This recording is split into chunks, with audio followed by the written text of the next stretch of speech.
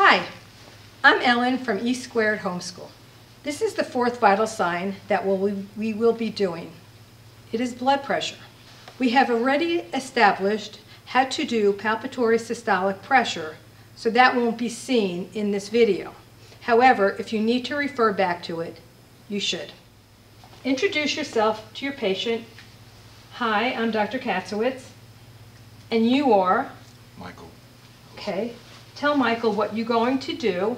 I'm going to be taking your blood pressure, Michael. Make sure that you get the right blood pressure cuff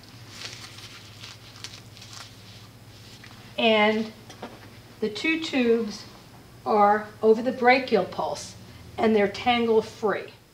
Before you start pumping up the bulb, you need to tighten this valve over here. Tighten it clockwise and make sure it's tight enough that you can at least release the valve when it's time to do so. Now, you've already established your palpatory systolic pressure, which in this case was 110. So you add 30 millimeters of mercury to that, which makes it 140. So what you're going to do is pump your blood pressure cuff up to 140. Make sure you put the stethoscope on correctly, which means the earpieces have to be pointed toward your ear.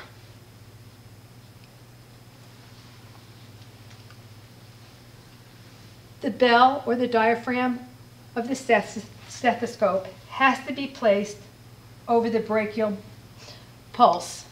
Make sure that you have access to read the gauge. I'm pumping it up to 140.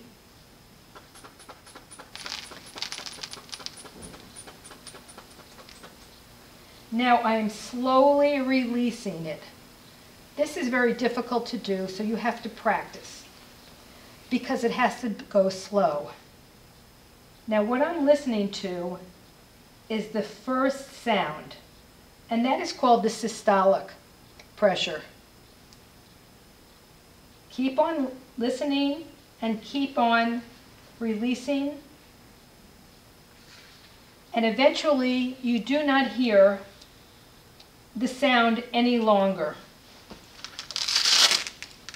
You note those two numbers. Make sure, take the blood pressure cuff off immediately so it causes the patient less discomfort. Go ahead. In this case, Michael's blood pressure was 122 over 76, which is considered normal. Remember, the systolic number is the top number and the diastolic number is the bottom number. So he fits in the normal range. Are you okay, Michael? Yes. Okay, this concludes our video on blood pressure. For more information about our curriculum, visit our website at esquaredhomeschool.com. Students, practice until you feel comfortable enough to complete this skill without using the checkoff in the book as your guide.